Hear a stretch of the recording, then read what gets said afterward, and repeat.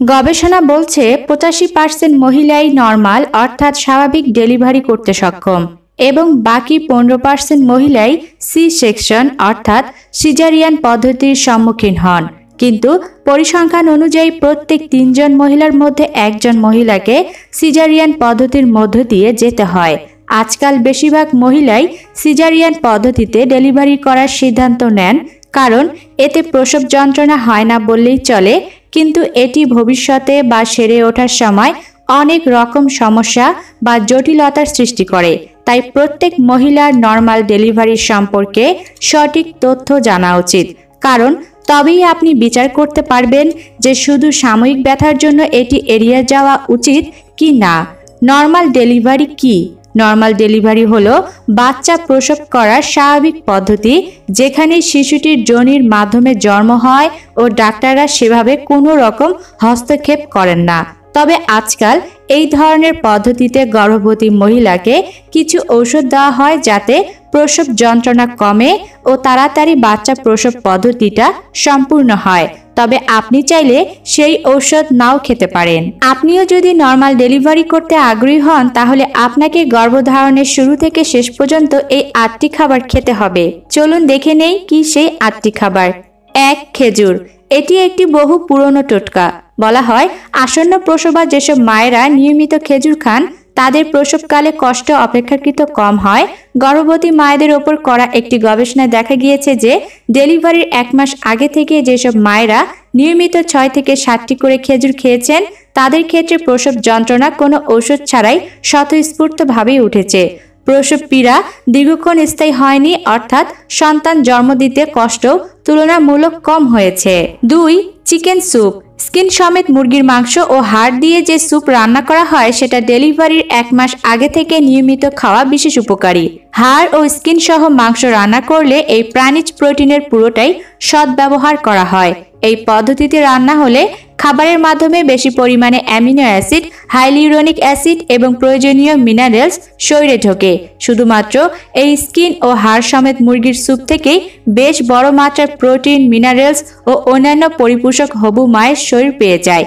এই মাংসের সাথে আপনি ইচ্ছা করলে কিছু সবজি যোগ করে সেটা আরও সুস্বাদু করে খেতে পারেন। তিন, মুরগি বা গরুর কলিজা। প্রাণীজ প্রোটিনের আরেক অন্যতম উৎস হলো মুরগি বা গরুর কলিজা। মহিলাদের শরীরের জননতন্ত্রের স্বাস্থ্য ভালো রাখতে বিশেষভাবে সাহায্য করে এই কলিজা। শুধু কি তাই? প্রসবের পরে মায়ের শরীর তাড়াতাড়ি সারিয়ে তুলতেও এই কলিজা বিশেষ উপকারী। সমস্ত B vitamin vitamin D, K, E এবং এ আয়রনের মতো পরিপোষকের সমৃদ্ধ এই কলিজা। প্রসবের সময় মায়ের যে রক্তক্ষয় হয়, সেই রক্ত পুনরায় তৈরি করতে কলিজা বিশেষ সাহায্য করে। এছাড়া এটি অক্সিজেনেশন ফুড হিসেবেও পরিচিত। চার, টক দই ও প্রোবায়োটিক খাবার। প্রোবায়োটিক জাতীয় খাবার দাবার শরীরকে বিভিন্ন ভিটামিন শোষণে সাহায্য করে। এর মধ্যে ভিটামিন কে অন্যতম। এর ফলে অন্য সব খাবার থেকে পাওয়া ভিটামিন শরীর সহজেই শোষণ করে নেয় এবং পরিপোষকের চাহিদা মিটিয়ে নিতে পারে। বিভিন্ন কালচার ডেয়ারি প্রোডাক্ট ইউগাট বা সাধারণ টক দই ডেলিভারির আগে নিয়মিত খাওয়া প্রয়োজন। পাঁচ, মিষ্টি আলু। ডেলিভারির আগে খাওয়া শুরু করুন মিষ্টি আলু। মিষ্টি আলু শরীরকে হাইলিউরনিক অ্যাসিড তৈরি করতে প্রয়োজনীয় স্টার্স ও স্ট্রোজেন সরবরাহ করে। মিষ্টি আলু থেকে আসা পরিপোষক পদার্থ মায়ের শরীরে স্ট্রোজেনের নকল করতে পারে। এর ফলে পোষক প্রক্রিয়া চলাকালীন মায়ের শরীর বেশি মাত্রায় অক্সিটোসিন স্ট্রোজেন এবং প্রোস্টাগ্লান্ডিন্স তৈরি করতে পারে এবং প্রসব প্রক্রিয়া সহজ হয়। এছাড়াও মিষ্টি আলু প্রচুর ভিটামিন ও মিনারেলসে সমৃদ্ধ। ছয়, পাকা কলা। কলার মধ্যে উদ্ভিজ্জ হাইলিউরেনিক অ্যাসিড বর্তমান। আবার প্রাকৃতিক চিনির উৎস হলো এই কলা। হবু মার শরীরে গ্লুকোজ ও ফ্রুক্টোজের চাহিদা মেটাতে নিয়মিত খেতে পারেন পাকা কলা। কলায় যে শুধুমাত্র উচ্চ মাত্রার পটাশিয়াম থাকে, তাই নয়। এতে যথেষ্ট পরিমাণে ভিটামিন সি ও ভিটামিন বি বর্তমান। প্রসবের সময় যত এগিয়ে আসে, হবু মায়েদের মধ্যে প্রি অ্যাক্লামশিয়া হওয়ার ঝুঁকি তত বেড়ে যায়, যার ফলে অনেক সময় সময়ের আগে শিশুকে জন্ম দিতে হয়। কলায় উপস্থিত ভিটামিন বি ম্যাগনেশিয়াম ও পটাশিয়াম এই প্রি অ্যাক্লামশিয়ার ঝুঁকি অনেকটাই কমিয়ে দেয়। সাত, বাদাম ও বীজ জাতীয় খাবার। এমন বাদাম, কুমড়ো বীজ, সূর্যমুখীর বীজ বা তিল ইত্যাদি আসন্ন প্রসবা মায়ের শরীরকে প্রসবের জন্য প্রস্তুত করে তোলে। কুমড়ো বীজে যে প্রচুর পরিমাণে পুষ্টিকর পরিপোষক থাকে তাই নয়, মায়ের রক্তে ইনসুলিনের মাত্রাও নিয়ন্ত্রণে রাখে কুমড়ো বীজ। সূর্যমুখীর বীজে থাকে প্রচুর পরিমাণে ভিটামিন ই মায়ের শরীরে ভিটামিন ই এর ঘাটতি হলে সময়ের আগে শিশুর জন্ম হয়ে যায়। এছাড়া এই বাদাম ও বীজ জাতীয় খাবার হবু মাকে magnesium, calcium, iron, copper, zinc ইত্যাদি মিনারেলস ও উচ্চ মাত্রায় বি ভিটামিনের যোগান দেবে। আট, পানির পরিমাণ বেশি এমন ফল খান।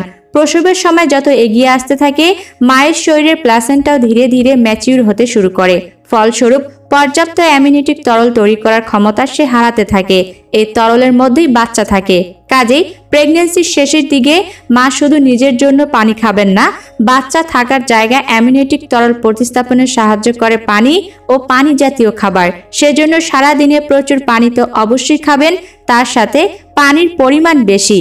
এমন ফল খাবেন শশা তরমুজ ইত্যাদিতে পানির পরিমাণ অনেক।